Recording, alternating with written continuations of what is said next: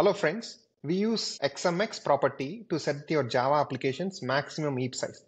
Now the question I have for you, say suppose you're going to set XMX to 6 GB. Will your Java process consume more than 6 GB of memory? Let's find the answer to it. Friends, the Java memory has internal compartments. The primary compartment is Java heap memory. When you set XMX, you are actually setting the size of your heap memory. After that, there is another region called the native memory. And this native memory has multiple compartments. There is a metaspace region where the class definitions, meta definitions are stored. And there is a threads region. The threads are integral part to execute our application. They are stored in this native memory. And then there is a region called code cache. See friends, the code that we write is not the actual code the JVM executes at runtime. JVM does a lot of hotspot compilations and improves the code quality. And then there is another region called direct buffer. In case if you're using any Java NIO package, and you're directly manipulating with the memory object, then those are stored in the direct buffer. In Java, the garbage collection is automatic. For garbage collection, to function, it needs memory and that memory is coming from this native memory. And then there's a JNI if Java native interface and directly talking with C, C++ process. And then I'm also categorizing another region called miscellaneous where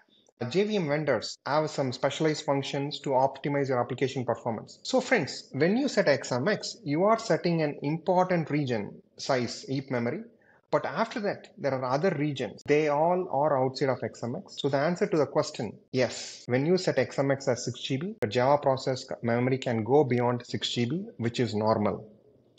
Friends, to learn about JVM foundational principles, attend my JAX London bootcamp.